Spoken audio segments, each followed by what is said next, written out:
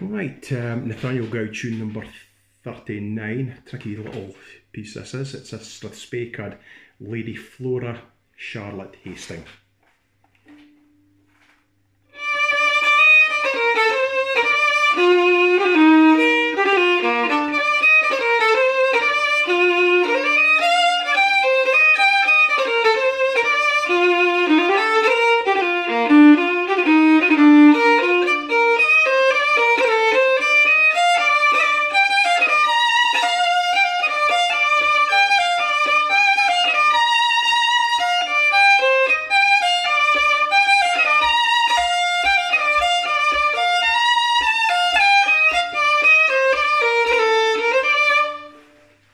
Mm-hmm.